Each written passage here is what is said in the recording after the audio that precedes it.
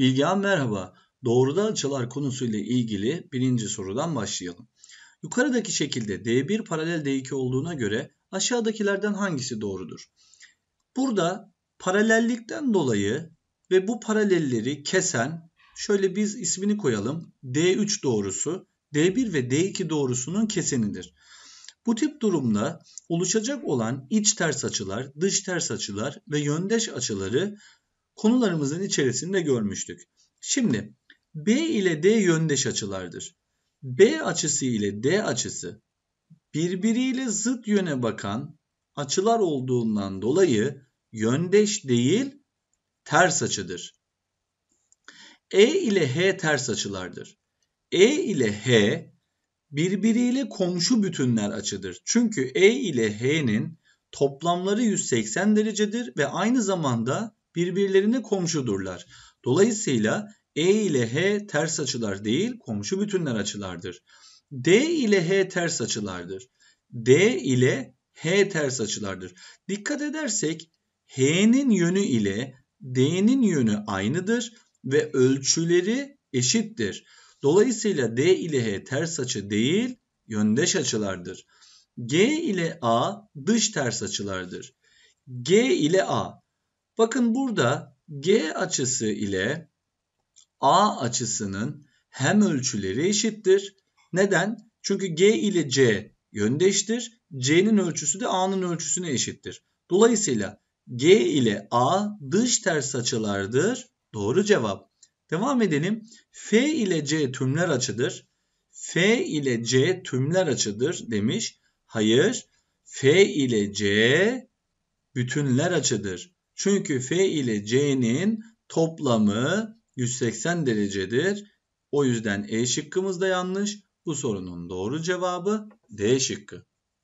İkinci soruyla devam edelim. Yukarıdaki verilen AB ve CD doğruları birbirine paraleldir. Buna göre x kaç derecedir? Şimdi AB CD'ye paralel ve yine şurada bir D isimlendirmesi yapalım. D doğrusu bunların kesenleri. Peki bu tip durumda x eksi 5 derece ile 2x eksi 10 derece birbiriyle zıt yöne bakan ve ölçüleri eşit olan açılardır. Yani iç ters açılardır. Dolayısıyla x eksi 5'in 2x eksi 10'a eşit olduğunu paralellikten dolayı söyleyebiliriz. Elimizde birinci dereceden bir denklem oluştu. Ne yapıyorduk? Bilinenler ve bilinmeyenleri ayırıyorduk. x eşitliğin sağ tarafına, küçük katsayılı olanı büyüğün yanına ve bilinenleri bir tarafa toplayalım. Eksi 10 eşitliğin diğer tarafına artı 10 geçti. Eksi 5 burada var. 2x burada zaten vardı. Artı x diğer tarafa eksi x geçti. Şimdi 10 eksi 5 5. 2x eksi x x. x'in değeri 5 derecedir.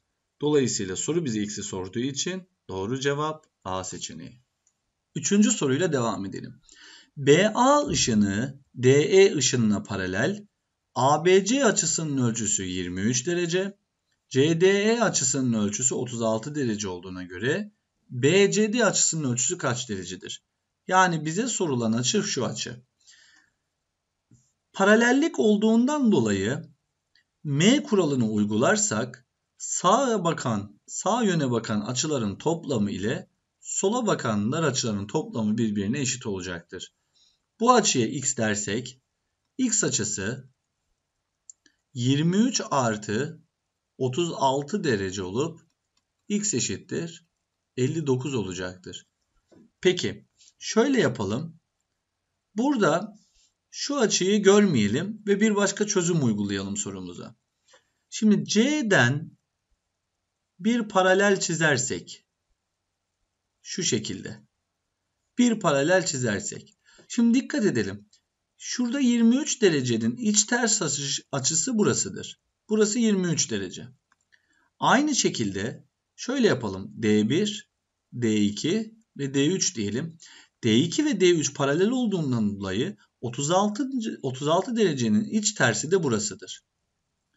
Dolayısıyla şu C açısının tamamına dikkat ediniz. Bir kısmı 23 derece, bir kısmı 36 derece oldu. Yani bu açının ölçüsü 23 derece ile 36 derecenin neyi olacaktır? Toplamı olacaktır. Dolayısıyla doğru seçeneğimiz B seçeneğidir.